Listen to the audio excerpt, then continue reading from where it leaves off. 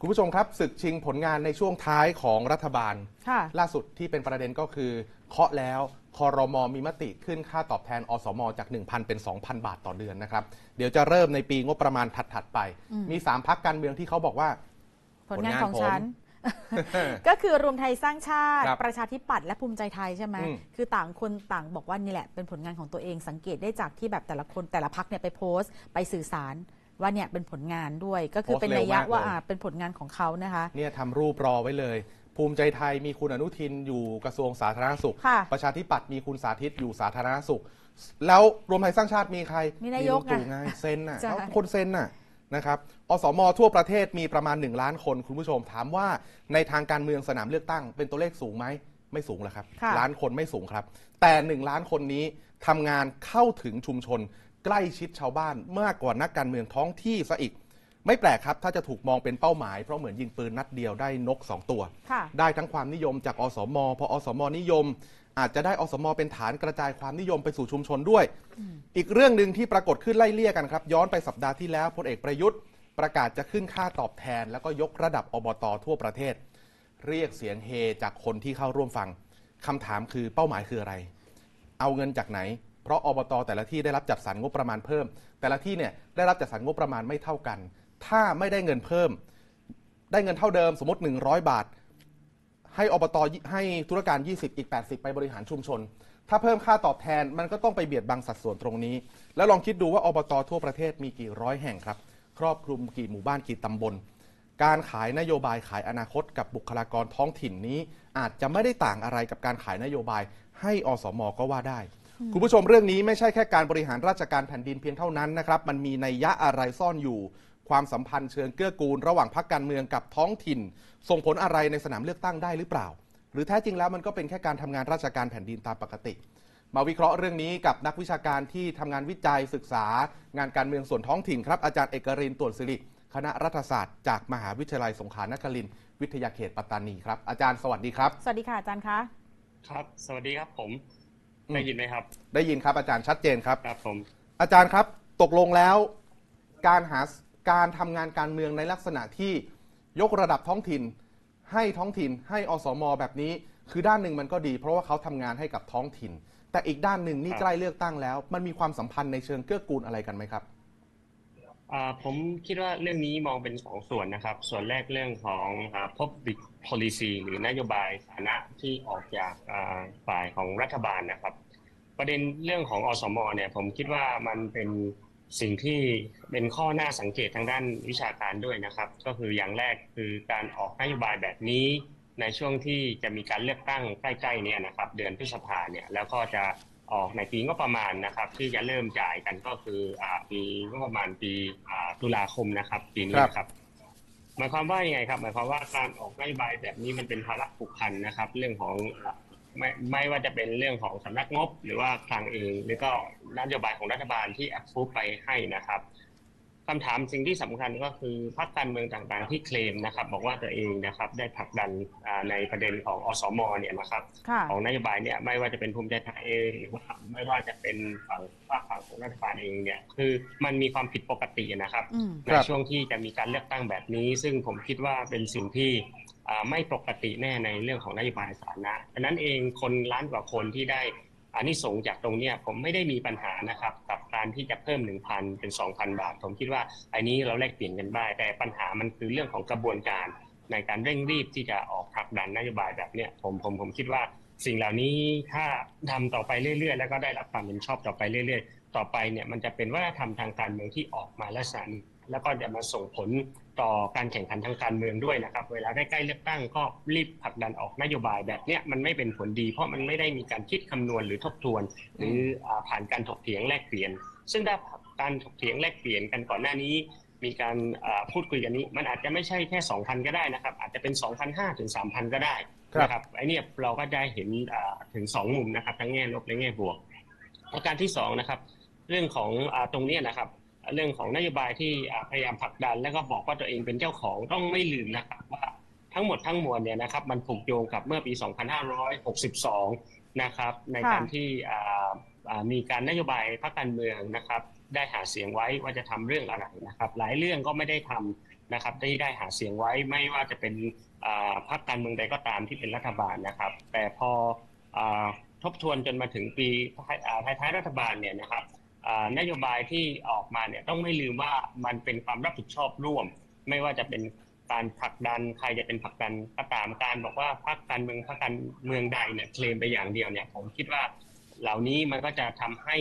เป็นอ่าเรื่องของอ่านโยบายใครนโยบายมัน มันไม่ได้การผสมผสานทางด้านนโยบายเพื่อให้เกิดภาพรวมของทั้งประเทศนะครับครับแล้วก็สิ่งที่น่าสนใจตรงนี้ผมก็คิดว่าอ่าตรงนี้ต้องไม่ลืมนะครับ ต้องฟุตโน้ตไว้นะครับว่า มันเป็นภาษีของประชาชน อืมซึ่งผมคิดว่าหลายอย่างเนี่ยพรรคการเมืองหรือที่ออกมาออกออกมาบอกว่าเป็นนโยบายของตนเนี่ย ต้องไม่ลืมนะครับ ต้องโน้ตไว้ด้วยนี่คือภาษีของพวกเราประชาชนทั้งหมดนะครับฉะนั้นเองมันไม่ใช่ภาษีจากการหรือว่าเงินที่จ่ายจากอ่าพรรคการเมืองใดพรรคการเมืองหนึ่งซึ่งตอนเนี้ยสิ่งที่น่ากลัวมากๆ คือนโยบายต่างๆ ที่ออกมาขายแล้วก็ออกมาว่ามันเป็นผลสำเร็จและ success เนี่ยครับ มันก็จะเป็นแค่เรื่องของพรรคการเมืองใดพรรคการเมืองหนึ่ง ซึ่งผมคิดว่ามันจะเป็นสิ่งที่อันตรายต่อในอนาคตต่อความเข้าใจครับผมครับค่ะ อาจารย์กำลังจะบอกว่าไม่ว่าจะประชาธิปัตย์ภูมิใจไทยหรือรวมไทยสร้างชาติจะมาเคลมเป็นผลงานของตัวเองเนี่ยไม่ได้ แล้วตอนนี้ค่ะนโยบายต่างๆ ที่ออกมาช่วงหลังๆเนี่ยคนเขาก็มองกันว่าเป็นการซื้อเสียงล่วงหน้าหรือเปล่าอืมมองแบบนี้ถูกต้องไหมคะอาจารย์มีสิทธิ์มองได้ครับ ผมคิดว่าอ่าอ่าเป็นเป็นข้อสังเกตใน ผมคิดว่าเป็นเรื่องปกติถ้ามีคนจะพูดแบบนี้ เพราะว่ามันมีข้อสงสัย แม้ว่าตัวเองจะผลักดันจริง ๆ นะครับ แต่กระบวนการนะครับผมคิดว่าหลายอย่างเนี่ยความสงสัยแบบเนี้ยพรรคการเมืองในฐานะที่เป็นเรือธงใหญ่ ที่จะผลักดันนโยบายต่าง ๆจำเป็นที่จะต้องอธิบายให้ชัด แล้วอธิบายให้ได้กับเรื่องแบบเนี้ยไม่นั้นมันก็จะทำให้เกิดความข้อสงสัยกันแบบเนี้ยตลอดไปนะครับครับผมครับ อาจารย์ความสัมพันธ์ของ นักการเมืองกับบรรดาคนที่ทำงานท้องถิ่น อย่างเช่น อสมนี่เป็นตัวอย่างนะครับ อบตอะไรต่างๆ นานาเหล่านี้ มีความสัมพันธ์ที่ส่งผลอะไรในสนามเลือกตั้งบ้างไหมครับ ผมคิดว่าเรื่องนี้เป็นเรื่องที่สำคัญและพูดกันน้อยสำหรับคำถามนี้เป็นคำถามที่ดีมากเพราะว่าที่ผ่านมาเนี่ยเรื่องของการกระจายอำนาจนะครับ ไม่ว่าจะเป็นเรื่ององค์กรปกครองส่วนท้องถิ่น และคนที่ทำเกี่ยวข้องกับท้องถิ่นเนี่ยมันถูกทำให้อ่อนแอนะครับ ถูกทำให้อ่อนแอเพราะต้องพึ่งรัฐบาลส่วนกลางเป็นหลักนะครับ ฉะนั้นเองไม่ว่าจะเป็นอ่างบประมาณหรือนโยบายที่ผลักดันให้ท้องถิ่นทำงานเนี่ยมันน้อยมากกับภาระงานที่ได้มา เพื่อจะตอบคำถามตรงนี้ให้ชัดก็คือว่ากระบวนการกระจายอำนาจและและทำให้ท้องถิ่นเข้มแข็งที่ผ่านมาเนี่ยมันมันไม่สำเร็จนะครับ มันครับทำให้ท้องถิ่นในจังหวัดต่างๆ จะต้องพึ่งรัฐสภาหรือรัฐบาลกลางเป็นหลักซึ่งมันซึ่ง ในระบบประชาธิปไตยมันมี indicator พิสูจน์ว่าเรื่องแบบนี้มันจะไม่เป็นผลดีต่อสุขภาพประชาธิปไตย หรือระบบประชาธิปไตย เพราะว่า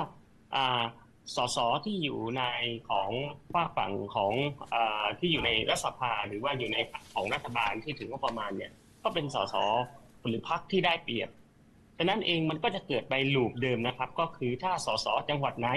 ได้และอยู่ในฝั่งรัฐบาลก็สามารถผันงบเข้าสู่จังหวัด ส่วนจังหวัดไหนที่ไม่ได้อยู่สสที่ไม่ได้อยู่ฝั่งฝากฝั่งรัฐบาล ก็ไม่ได้มีงบประมาณในการพัฒนาครับแบบเนี้ยผมคิดว่าจะทำให้เกิดสภาวะของการแข่งขันในเจาะระดับจังหวัดจังหวัดไป ซึ่งมันไม่ใช่การบริหารทั้งประเทศนะครับ ซึ่งจริงๆแล้วท้องถิ่นมีศักยภาพอย่างมาก แต่ที่ผ่านมาเนี่ยครับเราเราเราไม่ให้ความสำคัญกับท้องถิ่น และไม่ทำให้ท้องถิ่นเติบโต และเข้มแข็งด้วยตัวของเขาเองครับทำให้อืมการเมืองท้องถิ่นเนี่ยอ่อนแอและก็ การเมืองท้องถิ่นต้องพึ่งพิงกับการเมืองอาในระบบอ่าในรัฐสภาซึ่งเป็นเป็นภาพใหญ่นะครับ ซึ่งจริง ๆ แล้วความสัมพันธ์อย่างนี้มันจะผูกพันกับเรื่องของประเด็นของระบบอุปถัมภ์เรื่องของการหาเสียงเรื่องของบ้านใหญ่ครับมันเป็นระบบที่อ่ากินเนื้อกินเมืองของประเทศไทยมาหลายทศวรรษนะครับ ผมไม่คิดว่าในการศึกษาทางรัฐศาสตร์ต้องกลับมาศึกษาเรื่องแบบนี้อีกนะครับผมอืมครับจะจะทำยังไงให้บ้านใหญ่การเมืองท้องถิ่นกับการเมืองภาพใหญ่แยกออกจากกันได้คะอาจารย์ ผมคิดว่าสิ่งหนึ่งถ้าเรามองเป็นระบบนะครับ ต้องพูดให้ถึงที่สุดเราต้องกัดฟันเติมนะครับ เรื่องของอประชาธิปไตยที่ส่งเสริมท้องถิ่น ให้เขาเนี่ยบริหารจัดการตัวเองนะครับ ให้มากที่สุด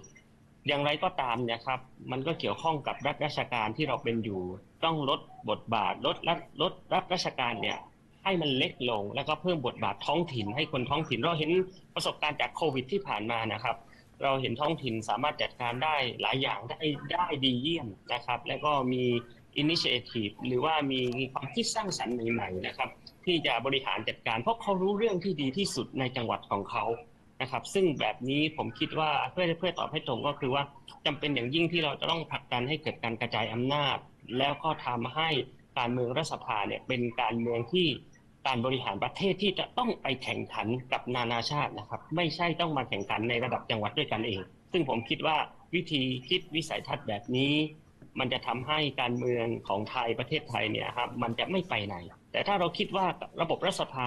จะพารัฐสภาไทยไปอยู่สู่นานาชาติ จะเป็นข้อถกเถียงหลัก เราต้องเราต้องพูดถึงเรื่องแบบนั้นนะครับ ประเด็นใหญ่ ๆ ไม่ใช่มาเรื่องของประเด็น ที่ภายในประเทศซึ่งผมคิดว่าภายในประเทศเนี่ยท้องถิ่นสามารถบริหารจัดการได้ และสามารถทำได้ดีด้วยครับ ครับ วันนี้ขอบพระคุณอาจารย์เอกลินมากนะครับ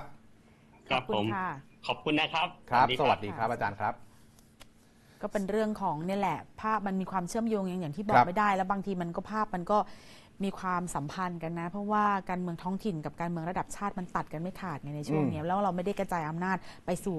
ท้องถิ่นอย่างเต็มที่ด้วย อาจารย์เอกรินเนี่ยทำ งานวิชาการศึกษาวิจัยบทบาทนักการเมืองระดับท้องถิ่นนะครับค่ะในพื้นที่ชายแดนใต้ อันนี้ส่วนหนึ่งทำงานศึกษาความขัดแย้งความหลากหลาย องค์กรปกครองส่วนท้องถิ่น กับความไม่เป็นอิสระในการจัดทำแผนพัฒนาอะไรต่างๆ นานา คืออาจารย์เขาก็เป็นหนึ่งในนักวิชาการของบ้านเราที่มองไปที่งานท้องถิ่น เพราะฉะนั้นคำถามที่เรากำลังตั้งข้อสังเกตกันก็คือ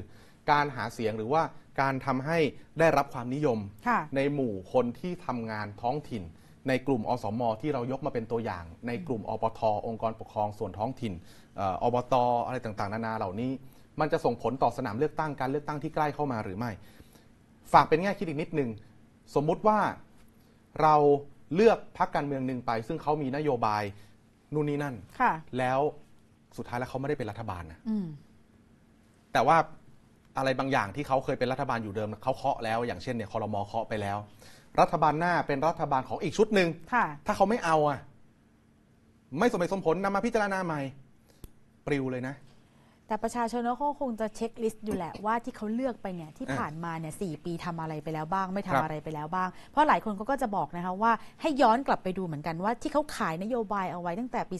2562อืมปัจจุบันเนี่ยผ่านไป 4 ปีเนี่ยทำอะไรไปแล้วบ้าง อะไรยังไม่ทำหรือว่าอันไหนที่อาจจะทำได้จริงหครัรือบอันไหนทำได้ไม่จริงแล้วถ้าเกิดเปลี่ยนรัฐบาลอย่างที่คุณบอกอะอยากเปลี่ยนขั้วเปลี่ยนข้างหรือเปลี่ยนพักเนี่ยโอกาสในการผลักดัน นโยบายเดิมๆเนี่ยครับ ก็อาจจะมีบางพักเขาอาจจะบอกว่ามีสิ่งที่ดีอยู่แล้ว ก็เก็บเอาไว้เดินหน้าต่อไปก็ได้ อ่า แต่บางอย่างก็อาจจะบอกว่าไม่เดี๋ยวฉันมีแบบใหม่มาทดแทนก็ต้องลองดูเลือกกันให้ดีแล้วกันนะ นโยบายรัฐ นโยบายด้านเอ่อคุณภาพชีวิต ค่ะ ที่หลายคนบอกว่าก็สวัสดิการไง คือนี่ก็รวมๆนโยบายด้านคุณภาพชีวิตอย่าลืมนะครับ4ปีที่ผ่านมา บรรลุวัตถุประสงค์ตามมุมมองผู้สังเกตการณ์แค่ 2%เท่านั้นเอง อืม 2%นะครับ ไม่ได้หมายความว่าเขาไม่ทำนะ คืออาจจะมีคนไม่ทำก็ได้ค่ะแต่บางนโยบายมันอาจจะยากไง มันมีข้อจำกัดศึกษา